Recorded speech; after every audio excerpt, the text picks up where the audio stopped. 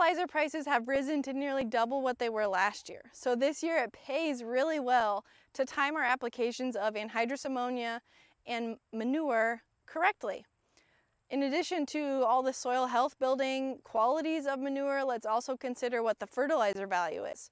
So let's say uh, typical swine finishing manure, uh, maybe around 50 pounds N, 15 pounds P2O5, and 30 pounds K2O. That fertilizer value in recent years has been between 25 to $35 per 1,000 gallons, but this year that number is much closer to $65 per 1,000 gallons. So at an application rate of 4,500 gallons per acre, that sums up to over $290 per acre of fertilizer value. So manure is highly valuable this year in addition to anhydrous ammonia, which some people have seen rise over $850 per ton this year. So it's October 12th, we've got the beans out. Should we be out here applying our manure or anhydrous ammonia right now? The answer is no, and the reason is because the soil temperatures are still far too warm to be applying that form of ammonia nitrogen. We really want to wait until the soils are 50 degrees and cooling to apply those. And that usually happens around early November or so. You can keep an eye on your soil temperatures by visiting the ISU Soil Moisture Network. It's a great website where you can go on and keep an eye on the soil temperatures at four inches uh, by county. So you can look at your region to see when the soils have cooled. So the warmer weather we've had has really kept soil temperatures high, even with some cool down happening.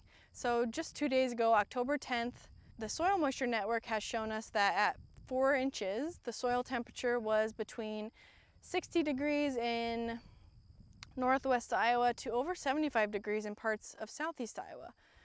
So application of manure or anhydrous ammonia in these high soil temperatures is extremely risky and that nitrogen will be susceptible to major losses, even using a nitrification inhibitor.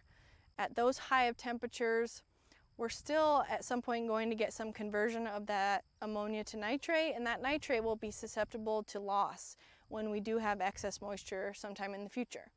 Recent ISU research has found a four-year average yield reduction for corn of 38 bushels per acre when we applied manure after soybean harvest, but early in the fall before the soils have cooled.